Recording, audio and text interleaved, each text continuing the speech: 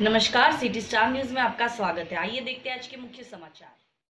जरीडी निवासी अन्वेश्वर पंडित की पत्नी बुल्लू देवी ने अपने पति पर गंभीर आरोप लगाते हुए प्रशासन से न्याय की गुहार लगाई है। बुल्लू देवी की माने तो उसका पति पिछले छह महीने से किसी अन्य महिला के साथ कहीं अन्यत्र रह रहा है और अपनी पत्नी व तीन बच्चे को छोड़ दिया है। ऐसी परिस्थिति में बुल्लू देवी को परिवार चलाना बहुत ही मुश्किल हो गया है। बहरहाल सच्चाई जो भी हो, लेकिन समाज के लोगों का भी एक दायित्व बनता है कि ऐसे मामलों में आगे आए और समस्या का निदान करे। गिरिडीह से अख्तर इमाम की रिपोर्ट। लोग का पालें कि लोन वाला पैसा हम भरें? ये ये मैटर है। तो एक धमकी देता है वहाँ बाहर से। सब लोग भैंसुर लोग बोलता है, वो मेरा पति बोलता है। बोलता है, क्या एकदम तुमको मार के फेंक देंगे? वहाँ से आएँगे, पता किसी को नहीं चलेगा। कितने दिन से आपको ये खर्चा नहीं दे रहे हैं? छः महीना से नहीं दे रहे हैं।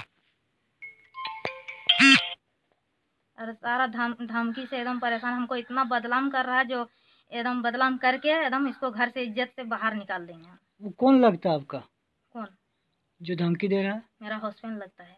और इन लोग का मेरा सास ससुर से बात कांटेक्ट होता है हमसे नहीं होता है और उन लोग से सारा पैसा उसा भेजता है। तो हम कैसे भरे लोन थाना कभी गए आप? थाना की इतना केस तो कर चुके हैं एकदम खर्चा के बारे में। थाना वाला क्या बोले?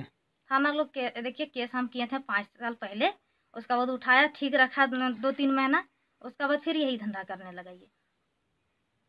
क्या नाम हुआ आपका? मेरा नाम बुल्लू देवी हुआ पति अनेश्वर पंडित।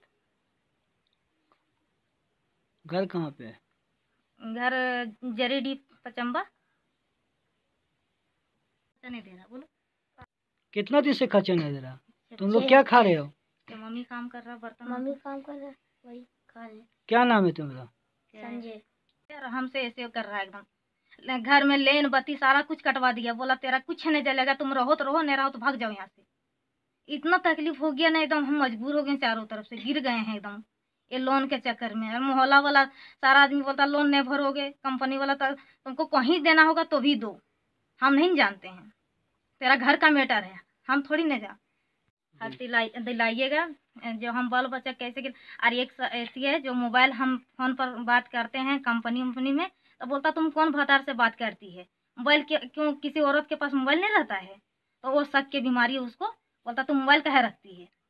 हम बोलता मोबाइल जब आप खर्चा नहीं दोगे हम जाएँगे दस को नंबर तो अबे करेगा ना?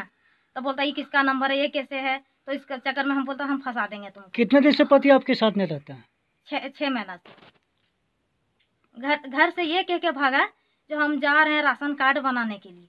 शुरू के बात है। बोला, राशन कार्ड बनाने हम जा रहे हैं। वो उसका बाद निकला तो उसका बाद गायब हो गया। मोबाइल उसका सारा बंद आने लगा।